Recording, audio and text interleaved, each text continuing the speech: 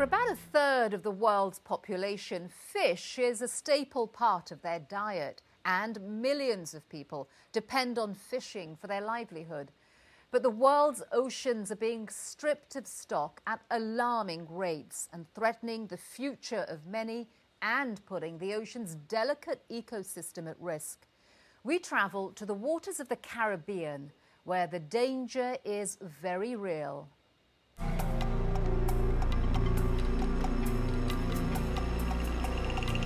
Trinidad and Tobago. Its Caribbean waters once supplied a very lucrative fishing industry, worth hundreds of millions of dollars. But all that's changed. Its value has plummeted by more than half, causing some 1,000 fishermen to worry. It's a phenomenon happening across the globe as fish stocks dwindle. The reasons fishing techniques that slowly erode the ocean's ecosystem, and many argue the dangerous effects of drilling for oil and natural gas under the ocean floor. About the last five years ago, we used to catch fish by four, five hundred pounds. Now, you can't hold a hundred pound of fish. 43 year old Dragon has spent nearly a quarter of a century fishing these waters, depending on the sea to support a wife and two children. He says he's watched his livelihood slip away. The problem was evident back in mid 2009 when thousands of dead fish washed ashore on Trinidad's southwestern tip. Not even the birds ate the carcasses. The whole beach side was just dead fish. The whole sea floating. Stink. Some environmental activists believe it was the drilling that was largely to blame. Trinidad and Tobago is the fifth largest exporter of natural gas in the world producing more than 115 million cubic meters daily. While a bounty of gas may lie under the ocean floor, the only way to access this precious commodity is to blast it out of the bottom of the sea. Underground rock is fractured, and natural gas is released and then pumped back to the surface, all creating Seismic blasts, which many here, like local environmental leader Gary Aboud argues, is killing the fish. And when you do seismic surveys, which are currently being conducted and are conducted randomly in Trinidad and Tobago, the innards of the fish explode.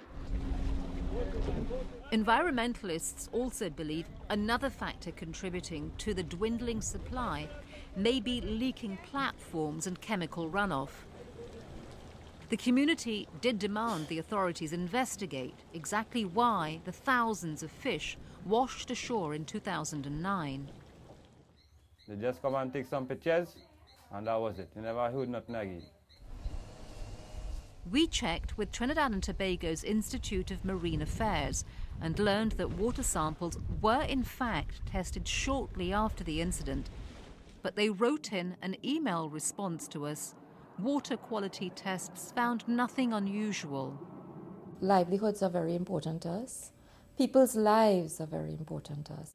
Carolyn Seepersad Bachan, former Minister of Trinidad and Tobago's energy sector, says that while she has no specific knowledge of why the beaches were littered with dead fish, accidents in the oil and gas industry do happen. Our state owned companies, they have some aged infrastructure, so we've had several leaks. But she says the country is committed to ensuring the safety of the water and the fishing industry, even if that means closing platforms. If there is an issue, we prefer to shut down, and that has been happening currently throughout all our operations. Um, there are many areas that we have shut down because of health and safety risk. While this is helpful, Dragon and his friends continue to worry about their futures, saying that their smaller hauls, together with higher gas prices that they need to pay, are actually causing them to lose money. The taxi, the shopkeeper, everybody depend upon all of these. President of the Fishermen's Association, Isuk Ali, says the dwindling fish stock affects the entire community. Even the retailers and the wholesalers depend on all of that. So you see the effect it's taking about how much people's lives. This vendor agrees. If the fishermen don't catch fish, we don't have anything to sell. Making matters worse still, the fishing industry here is facing another challenge drastically restricted opportunities for fishing.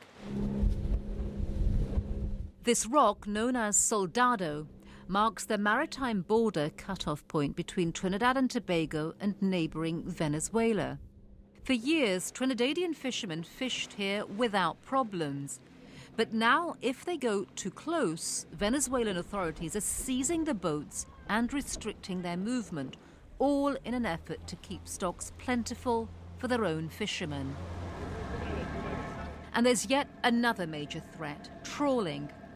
Deep sea trawlers fishing for shrimp erode the seabed, wreck nesting areas, and force fish to find new feeding spots.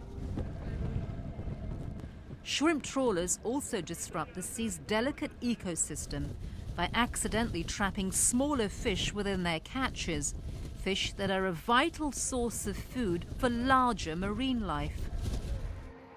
According to a United Nations report, if trawling worldwide continues at its current rate, the world's oceans may be completely stripped of fish within the next 40 years.